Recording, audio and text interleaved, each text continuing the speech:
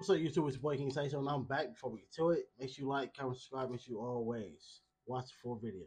So now, ever since Laina and King announced that they will be posting on their separate channels, they got people wondering are they taking a break from their relationship? Well, Laina posted on TikTok and people felt like she was throwing shade towards the situation. Maybe they are taking a break. I just needed some space, so I feel free. You don't understand because you're not me. really better than me. So now the comments were stating, oh, yeah, that sounds wild. I ain't gonna lie, bro. Like sometimes people do, especially like um influencers, they do play into the the rumors. You know, sometimes it'll be a rumor, and instead of like, the thing that Queen Naija was doing with with the ring thing, knowing everybody wants you to get married, everybody's talking about you in the ring. So, oh, right to be like some some, some people play into the the rumors or the, or the the speculation or whatever. Some people play into it, but sometimes it really be speaking into what they're actually going through. Not, not how something that we repost or retweet or whatever, it just sound good. That was a tight quote, but sometimes that quote fits the situation. Yeah, it's definitely making sense. Someone else states King needs to be alone. He not his true self, and I think once he takes dancing seriously, he will be happy. And someone even states, well, you lose them how you get them. So now you guys leave your opinions on this down in the comment section below. Now, Laina also explained why they are posting on their separate channels. She's basically stating that they need a break from each other because they're always together. We can't only. Well, look, this part is on the other video, but I'm a, I'm a somewhat repeat what I said. My my only thing is y'all should have been doing this from the from the beginning doing this in the middle of your relationship while after y'all just had two kids and got engaged and all that, now you want to do this? Yeah, that might cause a conflict. That might this might be you know a sign of the end is near. But then sometimes, hey, some people can make it work.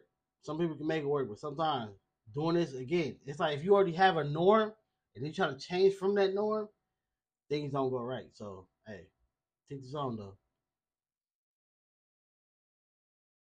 On social media. And Danni even went live stating that she was getting ready to expose everything on Corey.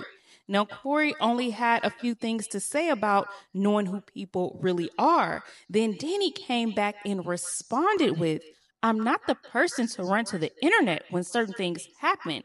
I really don't care about the next person's opinion. I'm trying my best to handle this as professionally as possible because don't push me.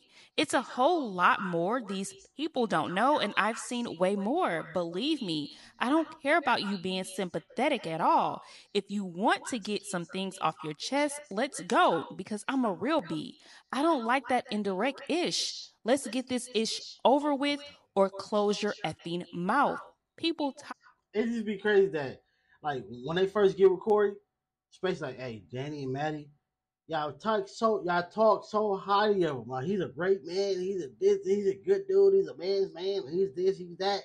And then when things come at the end, oh, you're all type of crazy stuff. You're like you're you're not none of the things that they said that you wasn't beginning. That's crazy, man. Part of you playing victim in every situation, but I guarantee you met your match. I'm not going venting session for venting session, live for live, indirect post for indirect, or none of that corny a ish. Then Corey comes back and responds with, Every time I feel like I'm being played with, I just talk to God.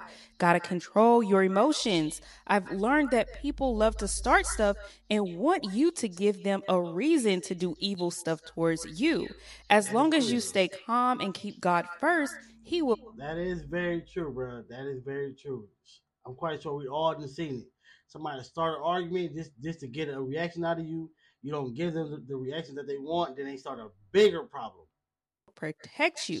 Don't react out of your own emotions because that's when you cause the chaos that they wanted in the first place. The devil worked very evil and strategic, but God worked with love. Love is what love does. Peace is priceless. If someone want to hurt you, let them.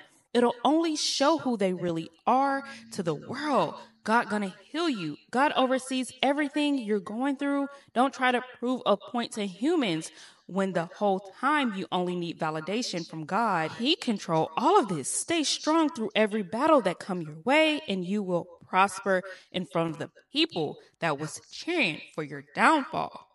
Now, one of those people that may be cheering for his downfall is Chris Sails because he had some things to say about the whole situation with Carmen getting a new car from Boogie and Corey out This has playing got with to be monkeys. studied.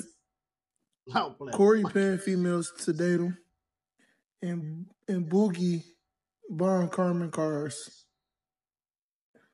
I just love This thing. he love playing with fire, bruh. He know this man's name is Boogie. You want to call Boogie, Boogie, and all this other stuff. keep playing with this, keep playing with fire, bro. When girls get treated dog. like a princess after dealing with a lion. I really do. Now I did see a little video on Carmen speaking on me, and she said something like I tried to collab with her, but she said she thought I was gonna troll. I really wasn't gonna troll. But Carmen did just hit me up to do a podcast with her. What y'all think I should do? She did DM me and she said, Yo, Chris, I want you to do this podcast with me. So y'all think I should do it or not? But anyways, how y'all feel about book buying my girl Carmen the car? Cause I felt like she did it. She did her big one, even if it was a fake relationship, even if it wasn't. Who knows? At this point, we don't know. I don't believe none on social media because I was in a relationship where we did a lot of fake shit. So who knows? We don't know. But I'm just happy to see her happy. While Carmen, I mean, while Corey over there playing with a monkey. Call me back. So now, if you guys didn't know, Danni and Corey have a child together, which they're calling their daughter. Now, this daughter is a monkey, and Oh, Corey has been spending a lot of time with her. Well, Danni I'm like, where the hell did this come from, bruh? How about a monkey? Was on live yesterday, and she stated that the monkey was actually missing Corey. Not sure she put Corey out, but she stated that Corey was coming back to get her because she was all sad that Corey left. What's going on, girl? Why you been sad? You been sad cause your daddy gone? Out! Why you just hit me? You know what? He coming back, Clover. I ain't lie, that thing creeped me out. I ain't gonna lie, we gotta skip past it. This thing is ugh. Yeah, y'all let me know what you said, cause I think this is giving me the creeps. I don't know. I can't I can't watch that.